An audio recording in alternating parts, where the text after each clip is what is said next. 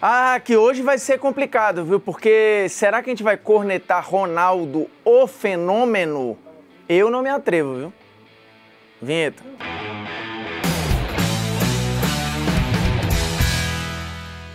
Seguinte, polêmicas react novamente tentando reagir a entrevistas, falas e opiniões absurdas, às vezes nem tanto assim. E tem dado resultado, viu? Mas sempre de maneira muito respeitosa. Então aproveita aí, curta, compartilha, se inscreve no canal da TNT, dá essa moral, já que a gente, putz, se dedica para fazer um negócio maneiro, né? Maneiro. E aí é o seguinte, vamos reagir ao time de todos os tempos montado por Ronaldo Fenômeno, que esteve na Inglaterra esses dias. Pelo que eu entendi, ele foi jogar a várzea lá na, na Inglaterra, foi isso? Ele foi jogar a várzea. E, e, cara, assim, o Ronaldo é absurdo, né, velho? Joga muito. Mas o tempo passa para todo mundo, né? Inclusive para Ronaldo Fenômeno, que montou o seu time de todos os tempos. E aí eu vou entender se é o time com, com quem ele jogou ou do que ele acha que é realmente o, o pica de, dos pica dos pica mesmo. Vamos ver. We want to know who your ultimate football team would be. Ó, o cara perguntou, a, a mulher, pra quem não sabe inglês, né? E é realmente a mulher é inglesa com esse sotaque aí, né? We want to know. Aí ela, ela quer saber, nós queremos saber, ela pergunta, o seu, o, o, o melhor 11 possível, o seu 11 ideal. O best 11 ever. Vamos ver. Keeper, Buffon. Goalkeeper, Buffon. Buffon. Buffon não tem ponto de correr, né? Muita gente. Eu considero o Neuer, mas até um dia desse eu considerava o Buffon. Mas eu entendo que para a geração do Ronaldo, o Ronaldo viu basicamente o, o Buffon surgir para o futebol, enfrentou o Buffon algumas vezes na Itália e tal. É, e, e, assim, é, é, outro símbolo. E é altamente justo que ele bote o Buffon, tá? Se ele botasse aqui o Neuer, o Buffon, o, sei lá, o Kahn, se ele botasse o Oliver Kahn, era... tinha um pé na maldade, né? Ele podia ter votado no Kahn só de sacanagem mas não votou. O Kahn foi muito pica, tá? Mas errou quando não podia. Pra gente podia, né? Pra ele não podia. Então, Buffon, check. Uh, Cafu. Aí, eu, a, com a maioria, eu já vi esse, esse vídeo aqui. A maioria que ele bota aqui, ele jogou contra ou com. Tem dois caras só que eu acho que ele não jogou. Teve um nome que eu senti falta, eu achei que ele ia botar. Dois, na real. Que ele, ele não botou. A gente vai chegar lá. Cafu, Acho justo, é, acho o Cafu um lateral gigantesco, assim, não acho que foi o mais técnico que eu vi, não acho que foi o mais completo que eu vi, é, mas eu acho muito justo que ele bote o, o Cafu. Ele podia ter votado no Carlos Alberto, né? O Carlos Alberto foi gigantesco, é, mas o Ronaldo não, não, viu jogar e não jogou com e nem contra. Mas ele podia ter botado o Carlos Alberto, mas o Cafu, pô, os caras foram campeão do mundo junto, né, velho? Não tem como. Paulo Maldini. A zaga, Maldini e assim. Canavaro. Maldini mais um, né, meu amigo? Aí ele botou Maldini e Canavaro. A zaga da minha vida é Maldini e Sérgio Ramos. Mas o Maldini vai estar sempre aí, a, a arte ali inverteu, né? Que o Maldini é do outro lado. É, o Canavaro, o... tem uma foto que o Ronaldo fala que é uma das fotos mais legais da carreira dele, que é um carrinho, se eu não me engano, do. Eu não lembro se é do Canavarro e do Maldini ou do Maldini no Nesta nele. É, e os dois não conseguem chegar no torneio da França que teve em 97 antes da Copa do Mundo, que era um, um tipo de Copa das Confederações, né? Em que Ronaldo e Romário jogaram muito naquele jogo, diga-se passagem, que foi empate.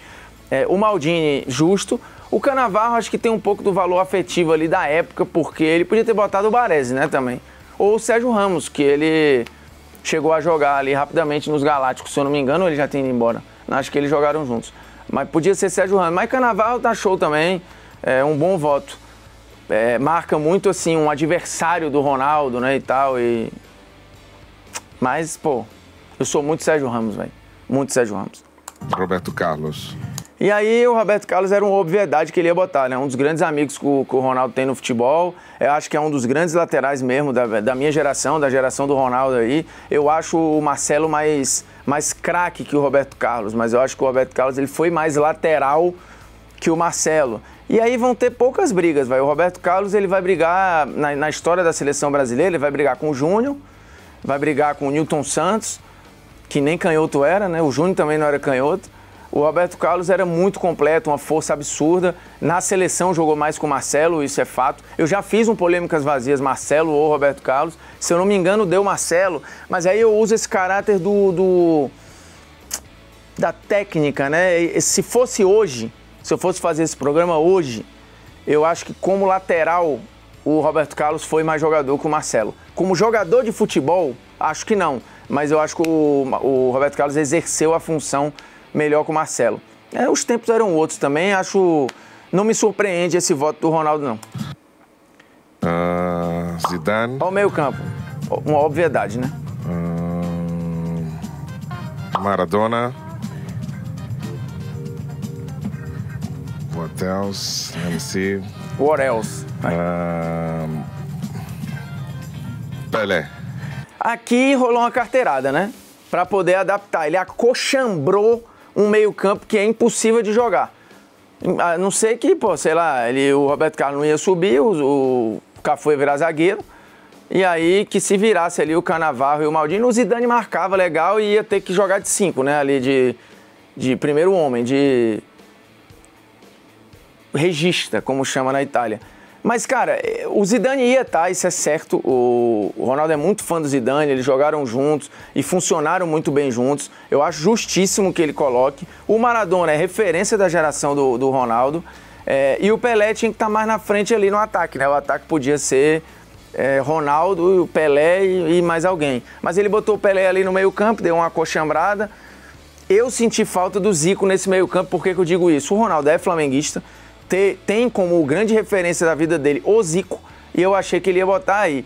Mas eu não sei também, era uma TV gringa, né? Se essa entrevista é para uma TV brasileira, eu acho que ele tacava o Zico aí, talvez até no lugar do Maradona. Talvez no lugar do Maradona. Mas, pô, o cara tá falando pra uma TV gringa, inglesa, né? Ele podia ter tirado o Maradona aí, que não faz falta na Inglaterra, lá os caras acharam bom ele não ter botado. Que essa entrevista foi pro Daily Mail, né? Se eu não me engano. É, tá ali, a Mail Sport um belo meio-campo que não jogaria na vida real, né? Muito difícil de, de, de, de funcionar aí. Até porque você tem dois pontas de lança ali. O Pelé e o Maradona. Ia fazer como? O Zidane, beleza, ia se lascar por eles dois ali. Mas um belo time. O Zidane eu tinha certeza que ia estar, velho. O Zidane é impressionante. Pra essa galera é impressionante. E quando você pensa nos Galácticos, é o primeiro nome que vem na cabeça é o nome do Zidane. Vamos ver quem é que ele botou no ataque. It's a pretty good team. Ok. É, aí ele ainda fala assim, que time, né? Que ela, ela fala um inglês ali que eu não entendi, um, não sei o que time. É um pica, um time pica. Ela deve ter falado. So, Messi Messi, eu, é uma obviedade, né? on the right. I put myself in the middle. Aí ele bota ele mesmo ali, show, não tem muito o que questionar. E completa com demorou, And uh, ficou naquela, tal. Cristiano Ronaldo. botou o Cristiano Ronaldo, que é a marcação da era moderna. Acho que ali você tem um ataque. E é engraçado, né? Você pega o time do, do Ronaldo aí, de, de jogador das antigas que a gente fala, tem só o Pelé e o Maradona, né? O, o resto é um time moderno, assim. É um time que todo mundo aí jogou no século XXI e jogou bem. Ele é um time da, da década de 90 para cá, que para minha geração não é futebol de antigamente, e é um belo time, né? Buffon, Cafu, Maldini, Canaval, Roberto Carlos, Zidane, Maradona e Pelé. Coitado do Zidane nesse meio-campo aí. Messi, Ronaldo e Cristiano Ronaldo. É, eu senti falta. Eu achei que ele ia botar o Romário. Porque assim, o Romário botaria o Ronaldo. E ele já pagou muito pau aqui pro, pro Ronaldo, mas o Ronaldo não botou o, o Romário. E aí eu entendo que talvez, em, de novo, a entrevista para uma, uma emissora gringa e tal. Acho que na Inglaterra, talvez o impacto, obviamente que o impacto do Romário é muito menor do, do que o do Cristiano Ronaldo. É, e o Cristiano, velho, assim, ele vai entrando mesmo nas seleções de todos os tempos, cada vez mais. O ataque é esse aí, assim. O, o ataque de muita gente, é, se a gente for comparando as listas ao longo da história de time de todos os tempos, você vai vendo que as, as listas vão mudando. Por exemplo, é, de Stefano, Puskas, Cruyff, eles cansaram de estar na seleção de todos os tempos. Não estão mais. O Yashin já está saindo, porque hoje entra ou Buffon ou Neuer. O Beckenbauer ainda está em algumas, mas o Maldini já ocupa muito esse lugar junto com o Baresi e tal, normalmente. O Carlos Alberto estava direto, já não está mais, porque o Cafu normalmente está. O Newton Santos cansou de estar ali na esquerda, hoje aparece muito mais o Roberto Carlos. O Garrincha cansou de estar nas listas, também já não aparece mais, porque hoje ela já é ocupada ali no, pelo lado direito, normalmente pelo Messi. Então você vai vendo essa mudança acontecer, né? Eu pensei, sabe um cara que ele podia ter botado ali? É, mas aí ia ver quem ia cair, era difícil, né? Ia sobrar, sei lá, pro Maradona, pro Cristiano, não sei. Porque tem o Lothar Matthaus, né? O Matthaus é da geração do, do Ronaldo e foi um volante absurdo, assim, no período dele. Acho que foi o melhor cinco da época dele disparado. Ele era um cinco tão bom que jogava com a 10, né?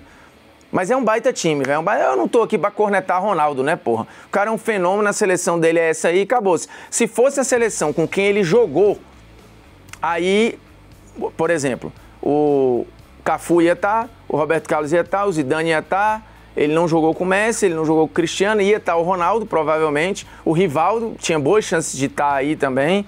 E aparecer outra galera. O Laudrup podia ser. Não, o Laudrup já tinha. O Laudrup ele é babado pelo Romário, não pelo Guardiola, podia ser que tivesse aí.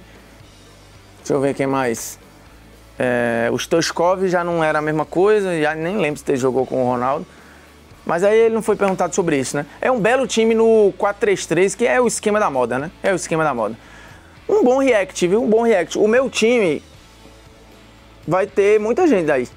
Eu acho até que eu já fiz. E se eu fosse refazer, boas chances do meu ataque ser aquele ali mesmo. Não tem jeito, velho. O, como diria Belchior, o novo sempre vem. Até pro Ronaldo Fenômeno, pô. Se pro Ronaldo veio, tá aí. O Ronaldo zero saudosista, viu? E você fica pegado a 1900 lá vai bolinha. Anda pra frente, meu chapa, anda pra frente. É nóis. Se inscreve nessa porra aí, por gentileza, viu? Semana que vem tem mais polêmicas React.